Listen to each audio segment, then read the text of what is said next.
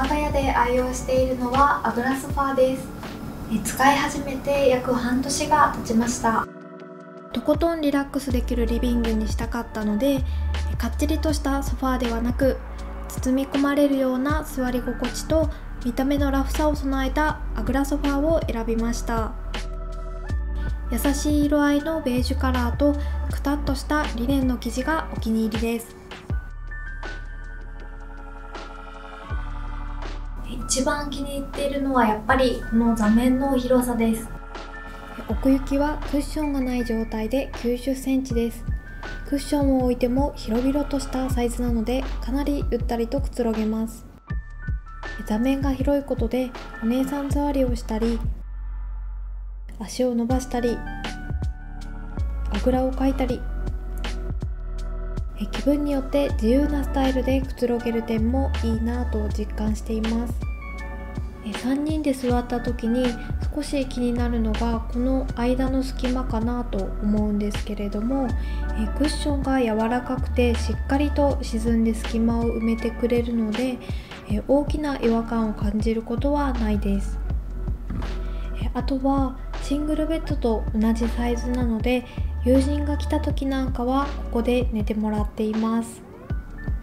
そういう使い方ができるのもアグラソファーにした理由の一つです。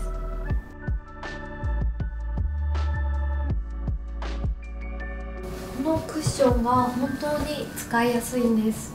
座面が広いのでいろいろな体勢でくつろぐことができるんですけれどもその時にちょうどいい姿勢をサポートしてくれます。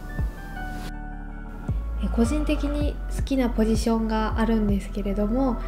クッションを2つ使って背中をフィットするくぼみをまず作ります。そしてこう前にも1つ。このスタイルが一番楽な体勢なのでこれでよく本を読んだり PC を触ったりしています。クッションがお腹にフィットする体勢はなんだか安心感がありますしボリュームと弾力のあるクッションなので自分の使いやすいよう調整できる点もすごく便利だなと感じています。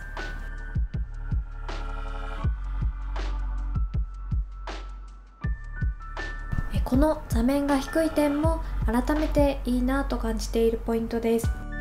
座面が低い方が心理的安心感が得られやすいと言いますがまさにそうだなと実感しています。あとは座面が低いことで圧迫感が少ないのも魅力です。実際にお部屋に取り入れてみても圧迫感が少ないのでお部屋を広く見せることができているなと思います。ちなみに我が家は15畳のリビングダイニングになっていましてリビング部分で6畳ほどの広さの中でグラソファーを置いて使っています。アグラソファーはフレームがない分広くて快適なのですが支えがないため少しクッションがずれやすいかなと思います。個人的にはそこまで気にはなっていませんがずれたらその都度直すようにしています。